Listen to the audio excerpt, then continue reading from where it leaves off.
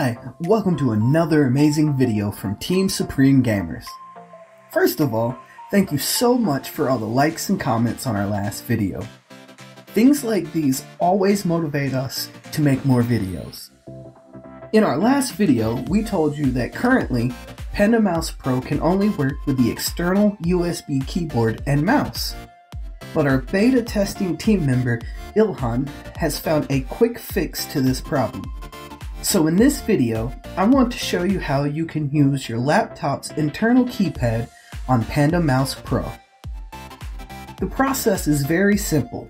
You just need to download the Panda Mouse Pro Support Layer 1.4 Gearlock package from our website and install it using Gearlock.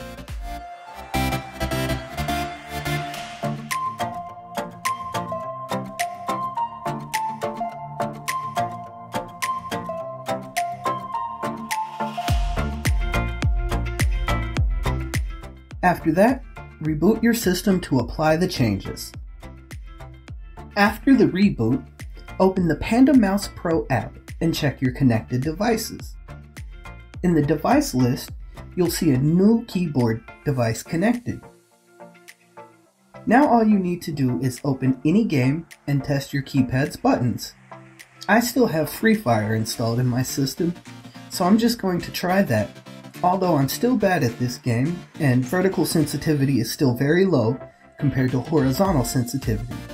The game is still playable, and I didn't face any lag or shooting glitch while using Panda Mouse Pro on this game. If you want to support the Panda Mouse developers, you can buy the app from the Play Store and give them a 5 star rating so that they'll continue to bring updates for higher versions of Android as well. Until then, take care of yourself and stay safe. Don't forget to like, share, and subscribe to the channel, and I'll see you in the next one.